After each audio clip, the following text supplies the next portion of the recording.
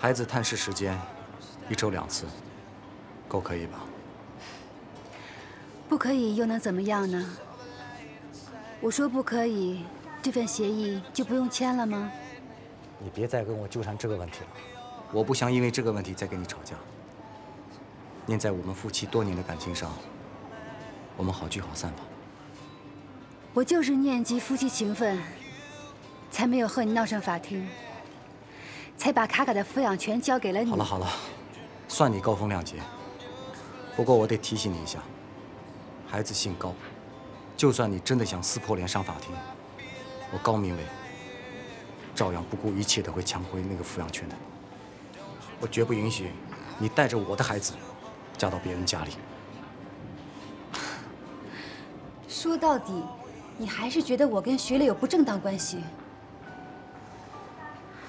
我怀不怀疑已经不重要了，重要的是，我手里的照片，法官看了之后，他是否会怀疑你们的关系正当？对了，婚后财产这一条，关于房子、存款，我会以现金方式给你的，一人一半。我算是仁至义尽了吧？高明伟，你不要以为你这么做有多高尚，我用不着你怜悯，更不用你施舍。我告诉你，如果当初不是为了迁就你的事业，我不会放弃中医院的晋升机会，更不会辞掉工作。这些财产是为我这么多年牺牲事业、为这个家、为你和孩子付出的补偿，是我理所应当得到的。家庭主妇可以是免费的。那是因为有爱，一旦没了爱情，我就要我应该得到的。你怎么现在说话那么直白啊？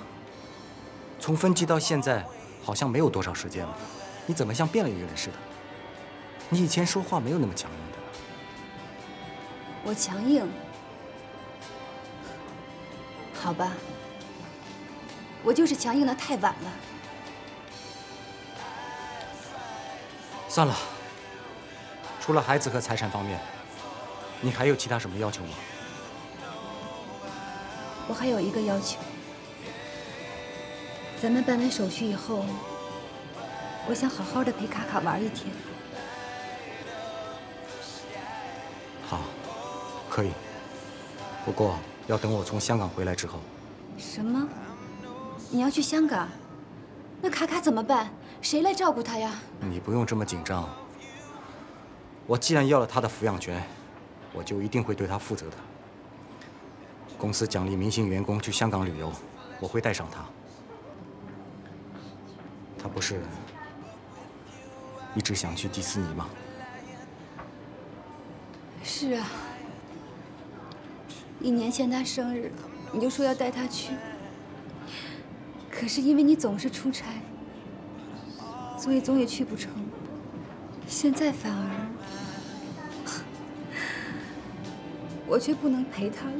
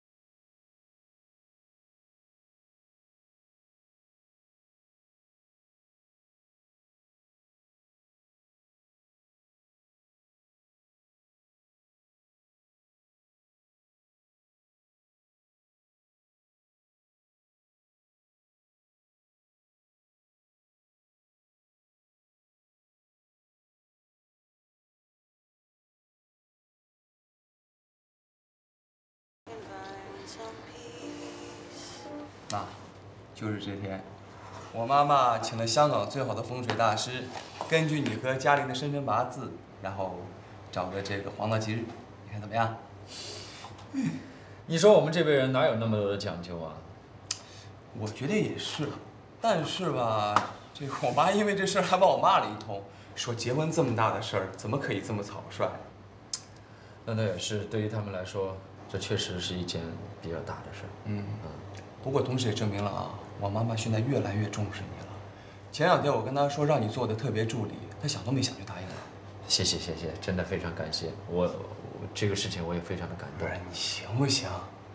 你别这么假行不行？我们俩什么关系啊？你还跟我说谢谢？你在我这说说就行了啊，在我妈面前千万别说这种话，我知道知道吗？知道，嗯，就因为你看家里那一通电话，呃，害我在岐山部就成了一个闲人，每天什么活都没有，而且还得承受一些闲人闲语，真的是我实在是待不下去了。所以嘉玲就派我来拯救你了。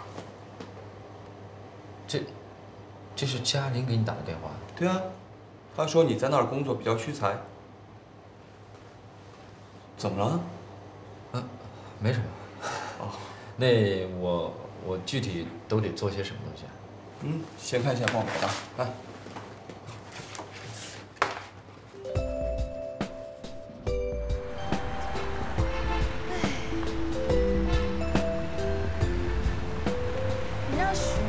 做嘉温的助理，这招太狠了。那他以后想去找那个女的，就没有那么容易了吧？唉，我也是没办法呀，毕竟我跟他的感情才慢慢开始建立，我有危机感。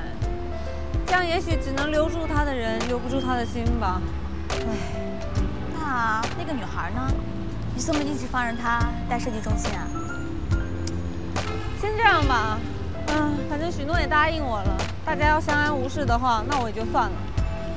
反正他结婚以后也不会继续留在那工作了。不过吧，我觉得孩子这事儿，他能站出来承担责任，就已经说明他是一个宽厚善良的男人。这样的男人最好对付了，对他好一分，他回你三分。这么时间一久啊，他心里就全是你了。真的？当然了，我以前就交过这样一个男朋友，后来我们俩分手了，他还哭得死去活来的呢。啊，现在都是我哭得死去活来的。好啦，别想那么多了，不是快领结婚证了吗？幸福啊，就在眼前了。嗯，那等你从香港回来，陪我去挑婚纱。嗯。这个呢是生产统计报告，还有这个啊是市场报告，我都放在这儿。还有呢，这个是店铺进销存统计周分析表，我都帮你整理好了，放在这个袋子里，你记得把它仔细的看一眼啊。天哪，你说说看，我妈这么着急的把我叫回来干嘛？这么多报表，你说我一年都看不完，你说是不是？那这也没办法呀，谁让你是老佛爷的接班人呢？许诺，我跟你说哈，说实在的。从新加坡回来，我就是想当一个自由的设计师。你看看，现在被逼上梁山了，是吧？哎呀，哦对了，那什么，你脚边是不是有一个白色的那个纸箱？没错。哎，帮我拿一下。哎呀，那里边都是我从设计中心拿回来的资料，有一个黄色的本子。啊，这个？对对对。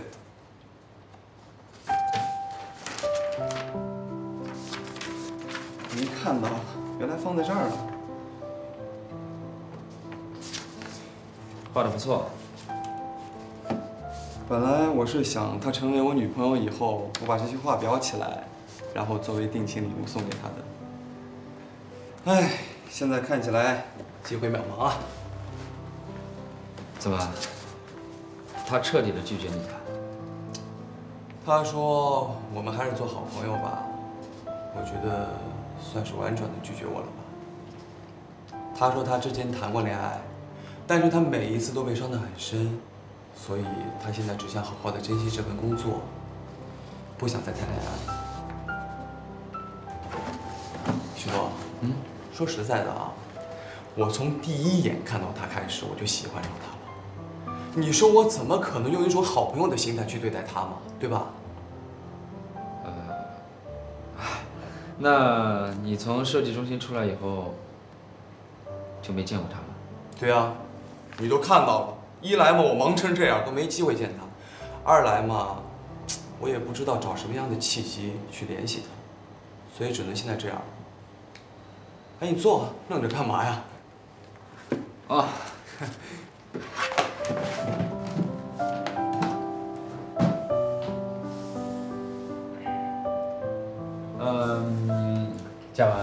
我记得我以前在新加坡的时候，我听杰瑞跟我说过哈，你在大学的时候追女孩子一向是很主动、很积极的，可是为什么，为什么这次这么含蓄呢？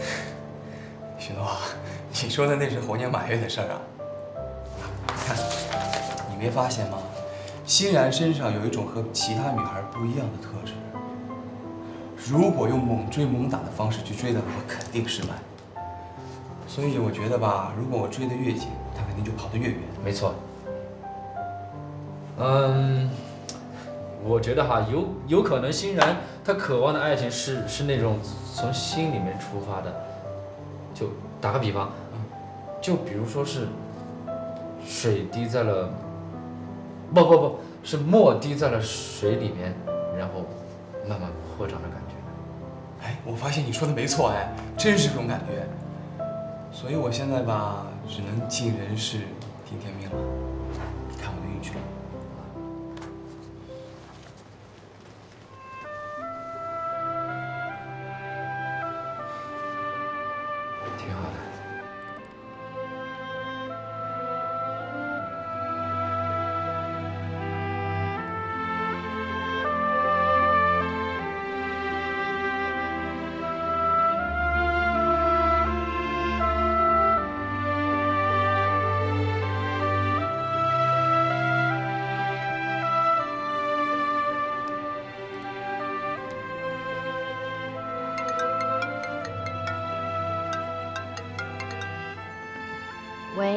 大姐。喂，然然啊，今天礼拜五，下了班能不能到 SPA 馆来一趟？我有事儿想跟你聊聊。嗯，好啊，正好我想过去呢。那行啊，我今天上晚班，咱们见面聊吧。嗯，那晚上见喽，拜拜。嗯，好，拜拜。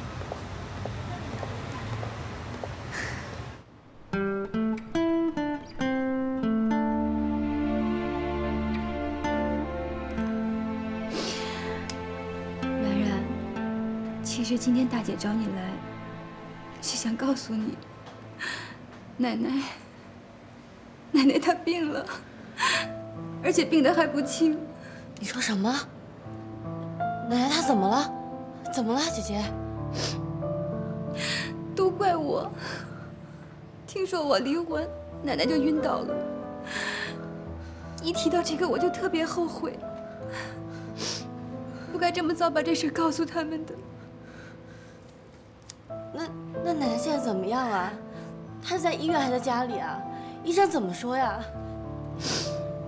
去医院做了全面检查，打了点滴之后，奶奶回家，一直精神状态都不太好，每天看着你和卡卡的照片流眼泪，饭也吃的很少。我们怎么哄怎么劝都没用，只能在一旁干着急。那奶奶都这样了，她怎么不去医院呢？你们一定要劝劝她呀。医生说她这是心病，心病还得心药医，所以，然然，大姐希望你能回家看看奶奶。如果能搬回家住，多陪陪她，那就再好不过了。大姐，但是这个我……我知道这么对你说是很突然，可是医生说了，奶奶年纪大了，在一天是一天了，最好少受刺激，保持平和的心境。也许对奶奶来说，你平安回家就是最好的安慰。你离家在外这么长时间，一直没有消息，奶奶始终放不下你。上次我们见面后，我回家没有和夏莲提过任何事情。可是这一次，我离婚的事情对奶奶打击太大了，特别是我没能把卡卡留在身边，我真的怕他会扛不住，所以大姐希望你能先放下心里的负担。我知道了，大姐，什么都别说了，我明天就回去好吗？嗯。我现在真的只希望奶奶能够赶快好起来。